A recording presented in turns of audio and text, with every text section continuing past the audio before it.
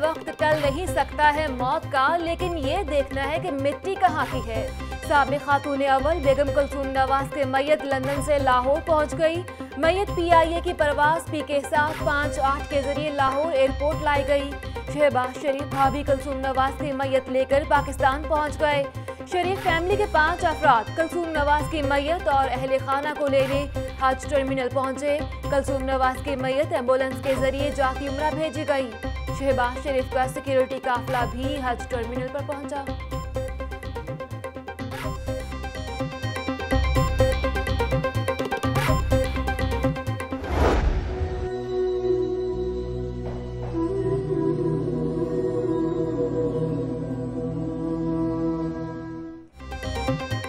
سابق خاتون اول بیگم کلثوم نواز کو آج جاتی عمرہ میں سپرد خاک کیا جائے گا۔ شریف میڈیکل کمپلیکس میں نماز جنازہ کی تیاریاں مکمل۔ مولانا طارق جمیل شام پانچ بجے بیگم کلثوم نواز کی نماز جنازہ پڑھائیں گے۔ نواز شریف کے والد میاں شریف کی قبر کے قریب دفن کیا جائے گا۔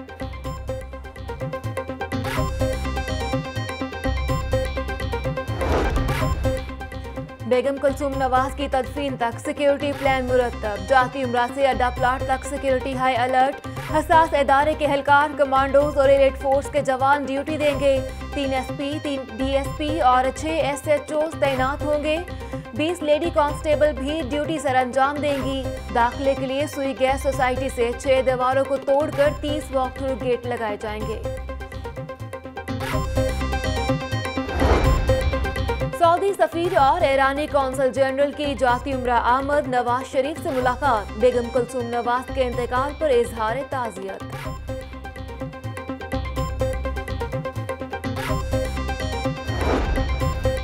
تعزیت کے لیے آنے والے کارکنوں سے نواز شریف کی ملاقات بدنسمی کا شکار۔ ملاقات کے دوران کارکنوں کی نعرے بازی، دھکم پیل۔ احسن اقبال کارکنوں کو پیچھے ہٹنے کی اپیل کرتے رہے۔ میاں محمد نواز شریف دس منٹ کارکنوں میں رہنے کے بعد واپس روانہ۔ حمزہ شہباز شریف سے بھی اہم سیاسی رہنماؤں کی تعزیت کے لیے ملاقات۔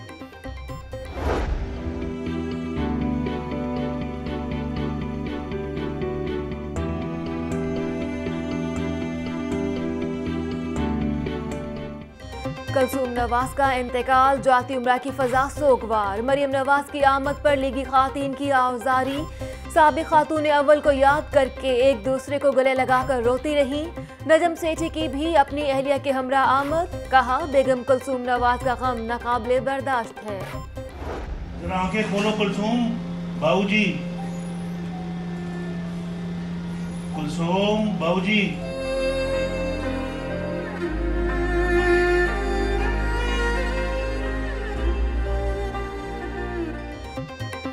جاتی عمرہ میں سوگ کی فضا، تعزیت کے لیے سیاسی اور سماجی شخصیات کی آمد کا سلسلہ جاری۔ صدر اور وزیر اعظم آزاد کشمیر، مولانا فضل الرحمان آفتاب شیرپاؤ کی آمد، مولانا طارق جمیل، ایاز صادق، میئر لاہور سمیت دیگر اہم سیاسی شخصیات کی شرکت اور اظہار تعزیت۔ کشمیری رہنما مشال ملک، مریم اورنگزیب کی بھی آمد۔ شریف خاندان سے دلی ہمدردی کا اظہار۔ بیگم کلسوم نواز کی جنازے